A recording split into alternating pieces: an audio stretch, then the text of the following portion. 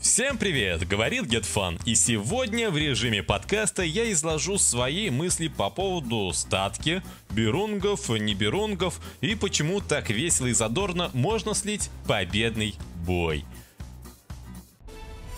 Друг, ты давно не заходил в мир боевых кораблей или еще даже не зарегистрировался? Прими приглашение по моей ссылке и уже в первом бою ты получишь премиумный крейсер. А когда ты выйдешь в бой на корабле шестого уровня, получишь крутой прем-линкор, а вместе с ним 3 ляма серебра, 80 тысяч свободного опыта и много флажных сигналов. Не тормози, качай, играй и бонусы получай. Ссылки в описании. Брать или не брать? Закончить ли бой или рискнуть и поиграть еще в конкретно вот этот вот бой? Такие вопросы или даже не вопросы возникают сплошь и рядом. А, по крайней мере в боях, где вражеская команда, хм, ну, как бы не особо торопится побеждать. Если вы не писали такого, ну, никогда и даже никогда не думали о том, чтобы союзные эсминцы, ну, не беришь ты, паршивец, добьем то пишите в комментариях смело об этом и, в общем-то, сойдемся на том, что я был неправ. Но я думаю, таких будет немного, потому как уж очень многие писали и даже присылали реплеи с удивительными победами, которые чуть ли не превращались в проигрыш. Или наоборот, проигрыш, который, ну, на последней минуте стал победой. И чтобы не быть голословным, вот сейчас конкретно у вас на экране будет проходить тот бой, который, ну, сложно было предсказать вот в самом начале, вот прямо сейчас. Особенно после того, как топовый э, крейсер нашей команды пошел на центр и доблестно слился под фокусом вражеских сил. Так вот, Почему же это проблема? Из разряда не проблем вовсе, вообще сейчас озвучивается мной. Ну, для начала, потому что мне тупо захотелось показать вон вот этот вот красивый бой. Не, шучу. Шучу. Конечно же, не из-за этого. Хотя и из-за этого в каком-то мере тоже. Мне захотелось поделиться с вами мнением, почему же на самом деле вот такое вот происходит в рандоме. И почему на самом деле я не считаю, что это ну так уж и плохо. Но для начала давайте разберемся в корне этой проблемы и из чего она вытекает. Для начала вспомним то, что в конце концов и все это вот сейчас происходящее на экране, это только лишь игра. И как всякая другая игра, она должна приносить нам удовольствие. Ну или по крайней мере не удовольствие, эмоции это тоже вполне себе неплохой вариант, потому как даже поражение, оно иногда запоминается гораздо больше, э, нежели какая-то там другая победа.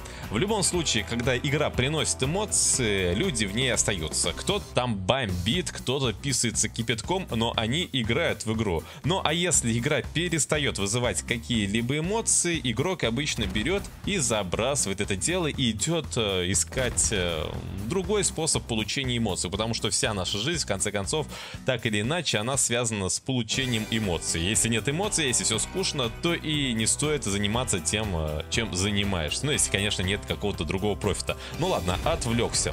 Так вот, когда происходят вот такие вот бои, которые то ли слив, то ли победа, когда идет качелька э, постоянная, мы получаем кучу эмоций. И в итоге, когда уже будет известен результат, мы получаем тьму эмоций. Либо наш стул горит э, в ужасе от того, что победный, по нашему мнению, бой союзники слили. Ну или полыхает у противника, как вот э, сейчас вот у вас на экране, э, который осознал, что слил победный бой, что именно именно он слил победный бой. А, возможно, кстати, если он э, играет хорошо, он потом осознает это и, в общем-то, осознает, какая ошибка этому привела, но это бывает не так часто. В итоге, чем важны такие бои? Тем, то, что они реально выделяются в игровой рутине и запоминаются сильнее всего. Из-за этого, как ни странно, я не могу посоветовать сейчас э, брать базу при первой возможности. Все это по одной простой причине, что это, ну, не особо логично. Если вы играете в свое удовольствие, то, как по мне, взять втихаря базу — это, ну, сомнительное удовольствие и странное удовольствие. И выбирать его — это все равно, что выбирать по стрелушке с синей линии в надежде хоть на какой-то там урон.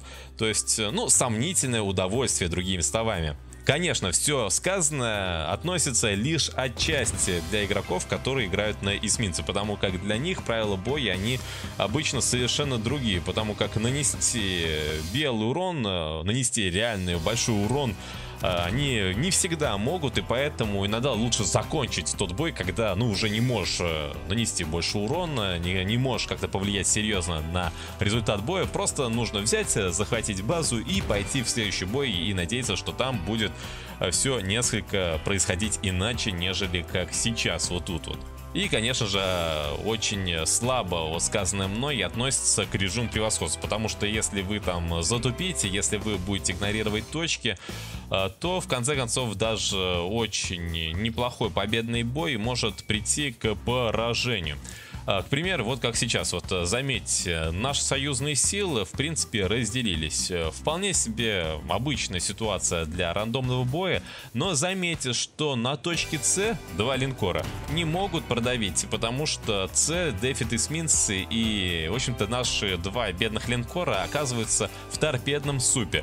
При этом туда же наносят удары вражеский авианосец, там же есть и линкор, вон видите, один вот светился на карте. С центра тоже постреливают в ту сторону, хотя уже в данный момент стреляет больше Демойн по нашему авианосцу, потому что если авианосец в свете, грех по нему не нанести урон.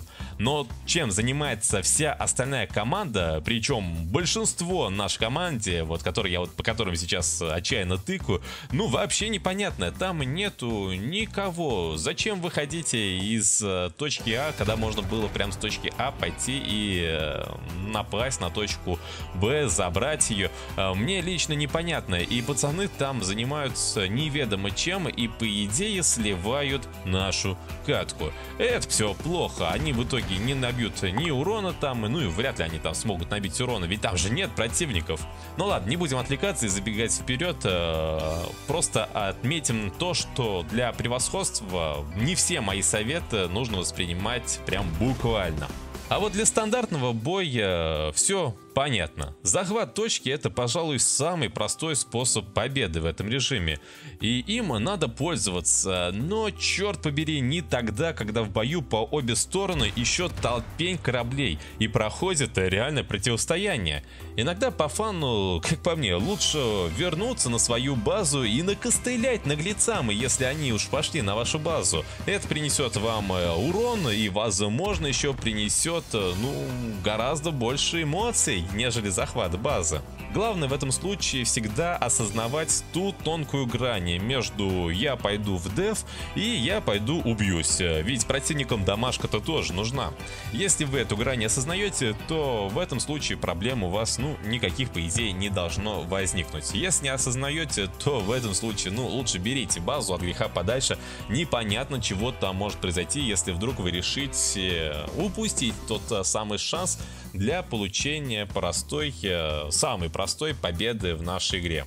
А к тому же, если условия боя идут далеко не в вашу пользу, то закончить бой захватом это всегда лучше, чем э, закончить бой взрывом под палубой. И знаете почему? Ну потому что ремонт корабля и особенно на high-level е съедает львиную долю вашего заработка. К тому же, как ни странно, такой вариант будет намного более экономически полезен.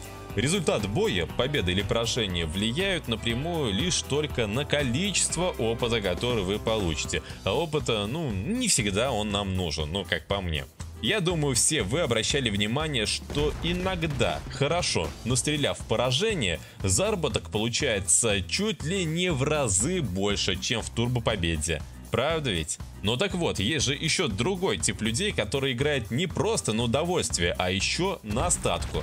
И вот, если вы один из таких, то вам обязательно необходимо знать, что помимо опыта, и как мне кажется, что в большей степени на остатку влияет не процент побед, нет, на него влияет больше дамаг и фраги. Опыт и показатель соотношения убил и убит, как по мне, они вместе с винрейтом начнут расти сами собой, когда вы будете правильно взвешивать ситуацию и наносить урон по тому, кому нужно.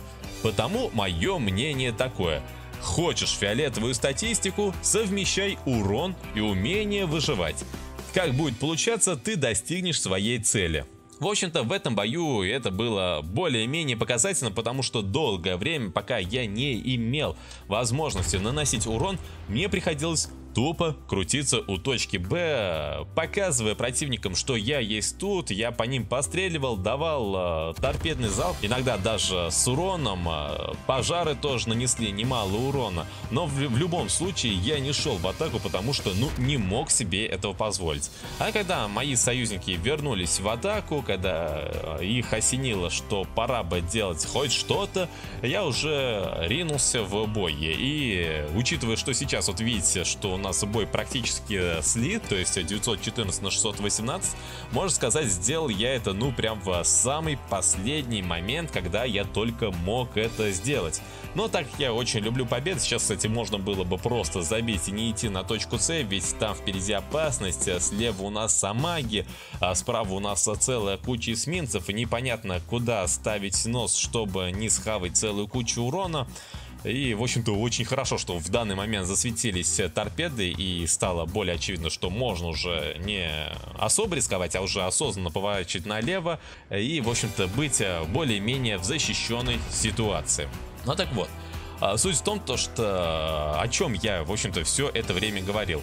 Для того, чтобы получить максимум статки, вы должны не помереть сам первоначально. Вот это вот самая первая у вас должна быть цель в бою. А вторая цель проследить за домашкой. И, конечно же, это я говорю сейчас о противниках. Если вы набили мало домашки, то надо идти на риск и искать способы получения этой самой домашки. Если риск привешивает возможной, э, возможности получения домашки, то, наверное, на него лучше не идти. И третья цель, в случае, если ваша домашка идет на вашу базу, не забудьте ее позащищать. Сбитие захвата вам также будет полезным. И вот сейчас, в данный момент, когда, в принципе, вот заметьте, вот э, удивительным макаром, а, вроде бы проигрышный бой сейчас вот уже превратился в победу, потому что точку С я отчаянно защищаю, мне достаточно просто тут тупо не помереть, и все, дальше э, одно только лишь мое присутствие на этой точке принесет нам победу. Последний возможный противник, который мог бы вырвать победу, этот эсминец был Фубуки уничтожен, и теперь все уже э, решено и понятно. И потому можно перейти к итогу и вернуться к вопросу бери или не бери. Согласитесь, сейчас, когда вы услышали все доводы за и против, уже не так очевидно, какой же нужно давать ответ, потому как он будет зависеть каждый раз от конкретной боевой ситуации. И если эту ситуацию вы не умеете прогнозировать, то лучше от греха подальше концентрироваться на взятии точек и баз. Ну а если вы умеете учиться или умеете прогнозировать, то лучше рискуйте, дерзайте и в конце концов экономически это будет вам более полезным. Именно из-за этого мне кажется, что вот такие вот рандомные качельки поддерживаются самими разработчиками. Ведь согласитесь, если бы победа приносила бы более значимые бонусы, то все было бы совершенно иначе. Ну а пока все есть как есть. На этом я буду заканчивать э, свое изложение мыслей, свой подкаст на эту тему. Пишите в комментариях э, свои мысли по этому поводу, за и против, э, там побеседуем. И если вдруг вы еще не подписались на мой канал, подписывайтесь, ставьте большой палец вверх, ну и конечно же не болейте. Пока-пока, 7 футов под килем вам, удачи, услышимся скоро в новых видео на моем канале.